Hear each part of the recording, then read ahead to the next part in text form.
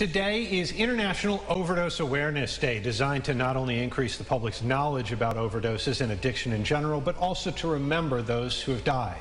Rallies have been happening all across the country and the globe today. Here locally in Rochester, the grassroots organization Vocal New York is beginning its event in just about an hour.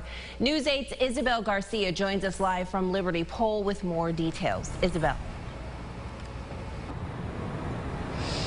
Yes, good evening to both of you. And another component of International Overdose Awareness Day is also to help end the stigma about overdoses and drug use altogether.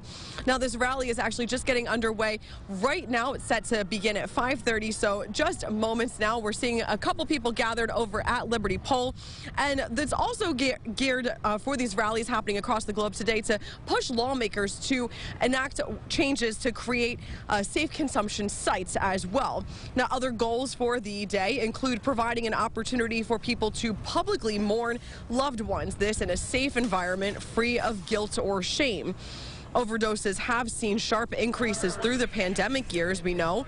Rochester Police Lieutenant Greg Bello tells me this year to date, Monroe County has seen 93 fatal overdoses, 93 community members who have died this year due to an overdose. This time last year, there were 91 fatalities, so we're about on par compared to last year. And the county is seeing some improvements with overdoses in general, down about 60 from this time last year.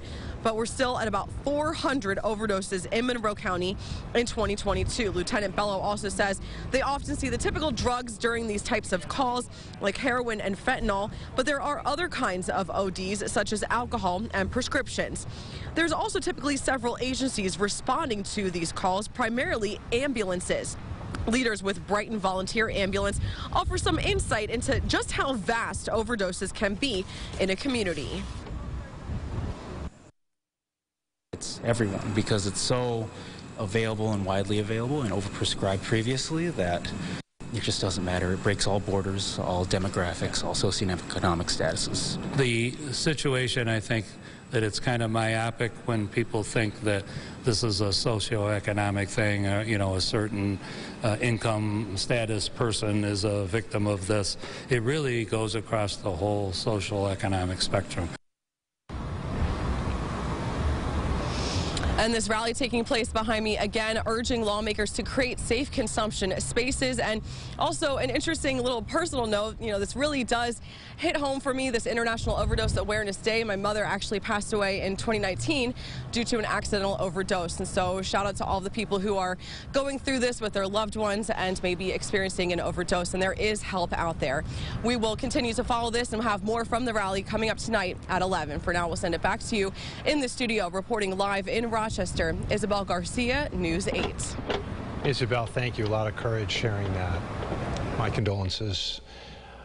Now, just last month, Monroe County Executive Adam Bello announced the launch of a 24-hour opioid hotline along with expanding access to naloxone, which can reverse the effects of an overdose and often save a life. Free doses of naloxone can be found at 50 designated sites across the city for the public to use.